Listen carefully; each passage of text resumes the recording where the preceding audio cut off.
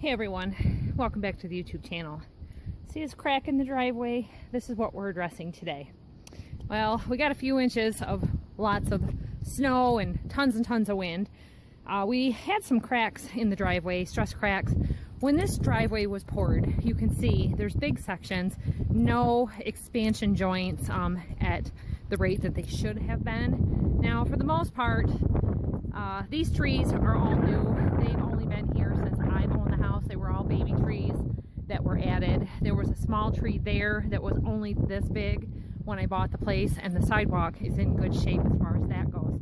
So the roots of this tree could have caused some cracking um, in addition to not having expansion joints and a little bit of upheaving. There used to be a tree right back here on the side of the house before I owned it and we had uh, replaced some uh, eaves trough damage from that. So I know that this cracking and the way it has settled has happened from that. So we watch a really good YouTube channel. His name is Mike Haddock. We have a neighbor that worked as a mason for many years and with a little bit of instruction and what we already knew, we know that we can fix this up so that it's all like a brushed concrete and then you won't see all these cracks anymore. For the most part, um, it runs downhill. Right here, it kind of runs towards the house and here, and that is where a little bit of leveling kind of comes in handy. Most of this water here has been a corner uh, eaves trough seam that is leaking. So in a day or two, we're supposed to get a few days of 43 degree weather. We're going to address that. So for today, I wanted to get the snow off of it, get the sun shining on what is left of the cracks, and then we'll power wash the whole thing and start repairing it. So after a day of power washing, everything out here, all the cracks have been cleaned out. Most of the ice melted through the day. I ended up finding some extra holes where some rock chunks came out. A long, long time ago, I tried some asphalt sealer stuff in a caulking tube. Most of that was able to blow out. I'll have to go through and try to pry out some of the other pieces, but this was supposed to be like an elasto uh, something finish. Supposed to be more of a small crack uh, type deal than this, but it did help with any trip and fall hazards over the year. Now, I probably did that 15, 16 years ago. So you can see lots and lots of unevenness here. And the word that I was lacking before was Portland cement. So we're gonna fill the cracks with concrete, Portland cement, as much of the driveway as he would like to do. And he won't even be able to tell the difference and it'll look like an all new driveway up to here where this was a new driveway at one point from the city approach being done. So we're looking much better. Well, it's early, early morning. The sun is just starting to come up. I got to be one of the first shoppers at our local supply store. I know you can't read that with a blur, but I'm at Menards. I've got 360 pounds of quick setting concrete mix here. Actually, it's general purpose. It's not quick. And then here in the back, we've got air ride suspension with airbags in the back. So I put the 80 pounds uh, mortar mix here and I got the S-type. I didn't realize yesterday I was using N-type, which is fine because it's for non-load bearing. So one on each side. I'm taking the little kids with me today. So we've got the equivalent of having the whole family in the car anyway. Just distribute your weight if you're using your car. Now I know some of you might be saying that's way too much weight for that car, but I was doing a little math while I was driving and the weight that in is in the trunk is about the weight, a little bit more than what my two teenage boys weigh and the weight in the back seat is slightly more than what my tween age boy weighs. So we're probably about 50 to, you know, maybe 80 pounds more than what those three boys weigh together. And they're all staying home today to do some schoolwork and things like that. So we're not going to be far away and they're going to be working and we're going to be working and everything's going to be great. Now I called for pricing to have this driveway totally redone with new concrete a few years ago and I had asked them about just cutting um, new sections so that we had some expansion joints and they didn't want to do that. They wanted to do a total tear out and it really worried me about doing a tear out that close to the house in the section where it's so bad. And um, at the time, I'd say 10 years ago, they said $3,500. So two or three years went by and I called them back and I said, hey, you know, could you come and requote this?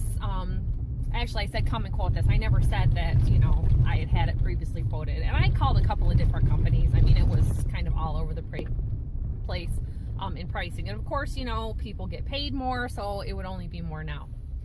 At that time, I think it was fifty-five to sixty-five hundred dollars, and of course, you know, kind of gets into the situation of, well, how much are we going to get into? Well, they wanted to start tearing into the sidewalk. And I said, no, the sidewalk doesn't need done. There wasn't an unlevel or a crack anywhere in it. So at this point, you know, it's just like the roof. You call them out to quote the roof, they say $10,000. That's nuts. I'm not going to refinance anything to be able to fix some cracks in the driveway. I just checked out at Menards. This stuff was um, like six and ten dollars a bag. I'll have to look at the receipt. But anyways, I spent, you know, like 50 bucks. So a day's labor and we're gonna be all set. Can't you work not on your knees? You want a floor mat from the car? I was squatting just like I did when I did the insulation. I thought this was gonna start hurting my legs.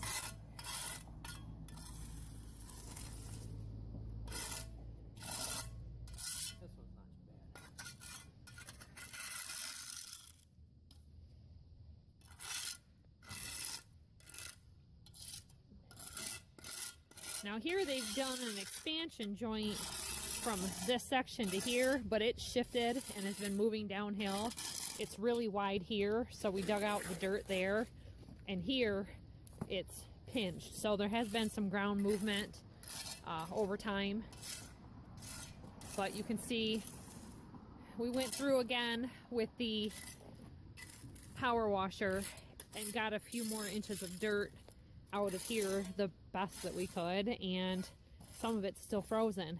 Here, this is real deep. We've already mixed up one bag of concrete and filled in some of the wider gaps in the front. That's mostly going to be the S mortar.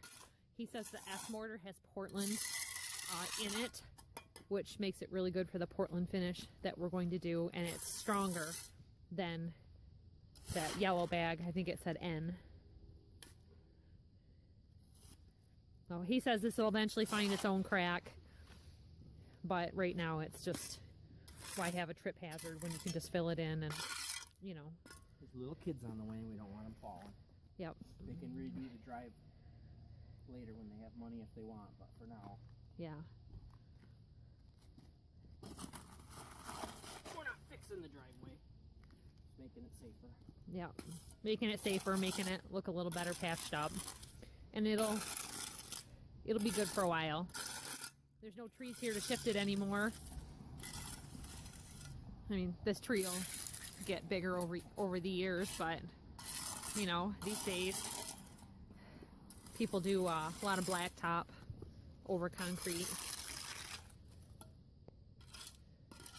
This street's mostly all concrete now that I think about it.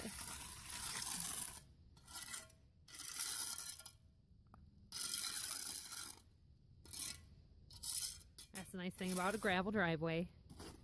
No maintenance. Little yearly patches and fill-ins. It's getting there.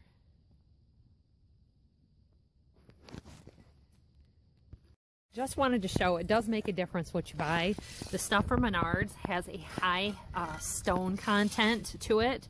We bought six bags of that and we knew we weren't going to have enough. This crack here and this one was exceptionally deep.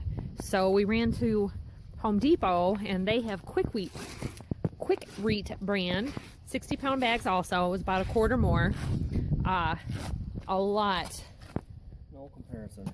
None. I mean. Here's the stone and the Menard stuff. Yeah. And then right here you see just teeny tiny. So this crack was still holding a good amount of water So he's just putting it in dry and kind of mixing it in this way. Yeah, it's gonna end up being fine. There's a lot of water. Like when you do a mailbox, you know, and you just add the water to the hole. It's gonna kind of be like that. Um, he says it'll be less strength, which once we're out of here, there won't be any big heavy trucks pulling up on here.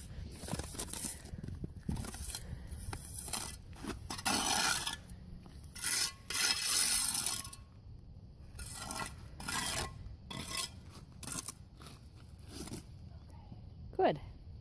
So this will be nice stuff for the little cracks. Yeah. So let's. I'm gonna get me some water. Okay, mix up some more. So yeah, we'll be able to do these smaller cracks that we weren't Oh, able yeah. to do with This'll- the stuff from Menards. Yeah. That's good. It's And gonna that's, work out great. I wish I would have had a little bit more of the tough stuff for down there, yeah. but Well, you got to work with what you got. That's what we do. So yeah, we can fill these in instead. That'd be great.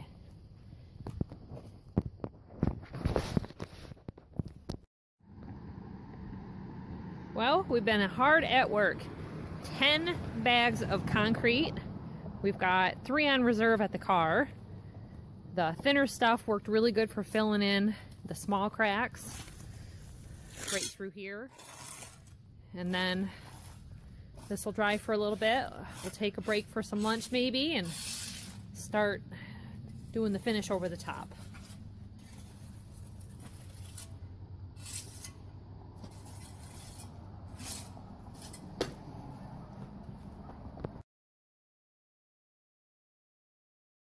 Okay, we're a good portion through our Portland cement painting that we're doing on it. And the key to this is you have to get your uh, old concrete work wet first with water. Not soaking wet, just wet.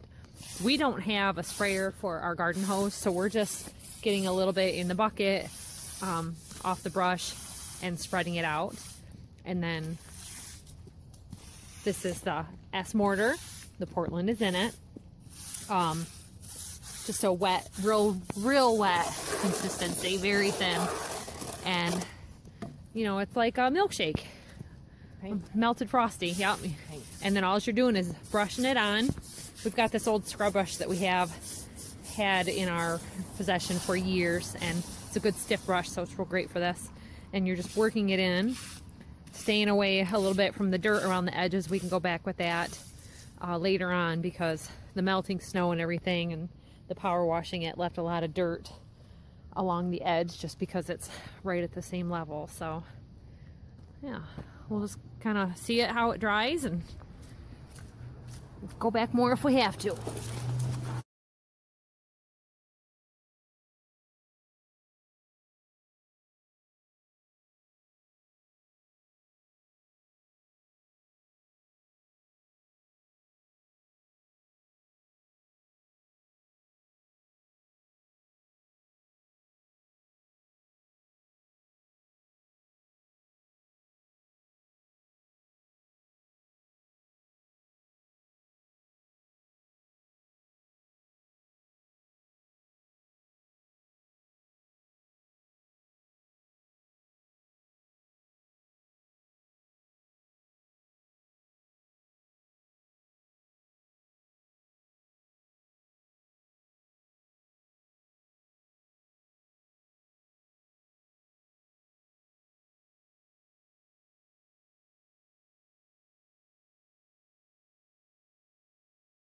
So this is the final on the driveway, how it all turned out. It's been sitting here drying.